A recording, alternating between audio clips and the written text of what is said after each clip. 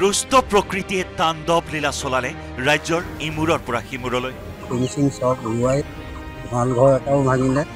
মুখলধাৰ বৰষুণ শিলাবৃষ্টি বজ্ৰপাতত ৰাজ্যৰ প্ৰান্তে প্ৰান্তে বিস্তৰ ক্ষয় ক্ষতি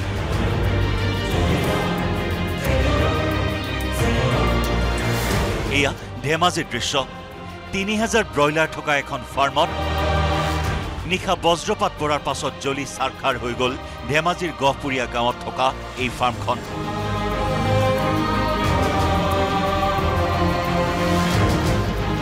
স্থানীয় লোকৰ কেমেৰাত বন্দী হ'ল এই ভিডিঅ'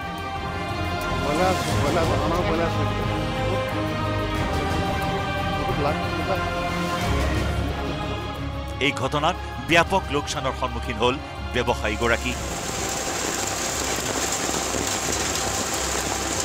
ইফালে ঢেকীয়াজুলিৰ ৰাক্ষসমাৰীটো বজ্ৰপাতৰ ফলত ভয়ংকৰ অগ্নিকাণ্ড।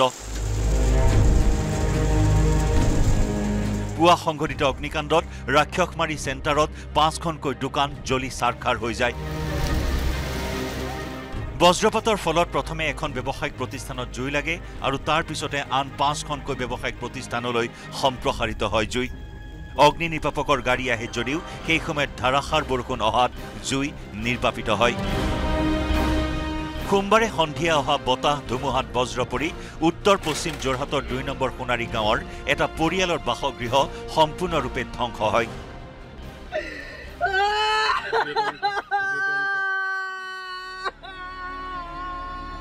ভদ্ৰ বৰা নামৰ ৰাজমিস্ত্ৰীজনৰ ঘৰ বজ্ৰপাত পৰি সম্পূৰ্ণৰূপে ভস্মীভূত হোৱাৰ লগতে পশুধনৰো মৃত্যু হয়। আনহাতে মেৰাপানীত নিশা সোমবাৰে হঠাৎ অহা প্ৰচণ্ড ধুমুহা আৰু শিলাবৃষ্টিয়ে মেৰাপানী সাপেখাটি চাউদাং পথাৰ তৰাণী চুক আমগুৰি চুক আদি প্ৰায় বিছখনকৈ গাঁৱৰ বহু পৰিয়ালৰ ঘৰ দুৱাৰ ভঙাৰ উপৰিও বহু মূল্যৱান গছ গছনি ভাঙি ক্ষতি সাধন কৰে। বহু কৃষকৰ খেতি বাতি বিনষ্ট হোৱাত মূৰে কপালে হাত দিবলগীয়া হয় কৃষকসকলে। পাণ গছ মানে আছিলে পঞ্চাছ জোপামান। এই পাণ গছবিলাকো মানে ধৰক পাথৰে ফালি ছিঙি ভাঙি শেষ হৈ গৈছে। ধেমাজিৰ পৰা মন বিকাশ বৰগোহাঁই মিছামাৰীৰ পৰা হৰেণ ভূমিজ যোৰহাটৰ পৰা গৌতম বৰা আৰু তিতাবৰৰ পৰা আনমোল যাদৱৰ report news eighteen Assam north east.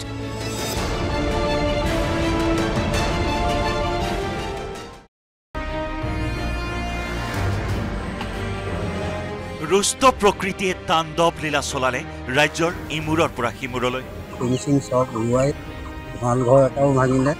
মুখলধাৰ বৰষুণ শিলাবৃষ্টি বজ্ৰপাতত ৰাজ্যৰ প্ৰান্তে প্ৰান্তে বিস্তৰ ক্ষয় ক্ষতি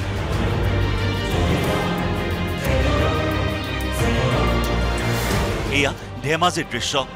তিনি হাজাৰ ব্ৰইলাৰ থকা এখন ফাৰ্মত নিশা বজ্ৰপাত পৰাৰ পাছত জ্বলি চাৰখাৰ হৈ গ'ল ধেমাজিৰ গহপুৰীয়া গাঁৱত থকা এই ফাৰ্মখন।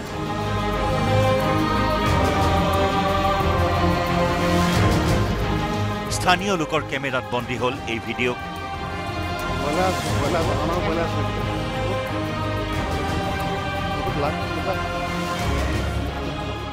এই ঘটনাত ব্যাপক লোকচানৰ সন্মুখীন হ'ল ব্যৱসায়ীগৰাকী। ইফালে ঢেকীয়াজুলিৰ ৰাক্ষসমাৰীটো বজ্ৰপাতৰ ফলত ভয়ংকৰ অগ্নিকাণ্ড।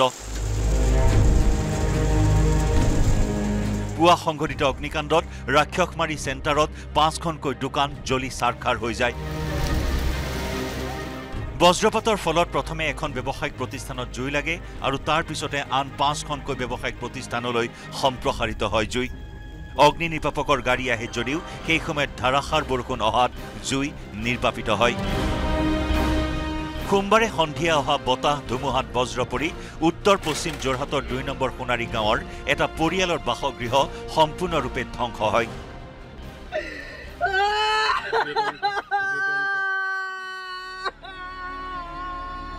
ভদ্ৰ বৰা নামৰ ৰাজমিস্ত্ৰীজনৰ ঘৰ বজ্ৰপাত পৰি সম্পূৰ্ণৰূপে ভস্মীভূত হোৱাৰ লগতে পশুধনৰো মৃত্যু হয়। আনহাতে মেৰাপানীত নিশা সোমবাৰে হঠাৎ অহা প্ৰচণ্ড ধুমুহা আৰু শিলাবৃষ্টিয়ে মেৰাপানী সাপেখাটি চাউদাং পথাৰ তৰাণী চুক আমগুৰি চুক আদি প্ৰায় বিছখনকৈ গাঁৱৰ বহু পৰিয়ালৰ ঘৰ দুৱাৰ ভঙাৰ উপৰিও বহু মূল্যৱান গছ গছনি ভাঙি ক্ষতি সাধন কৰে। বহু কৃষকৰ খেতি বাতি বিনষ্ট হোৱাত মূৰে কপালে হাত দিবলগীয়া হয় কৃষকসকলে।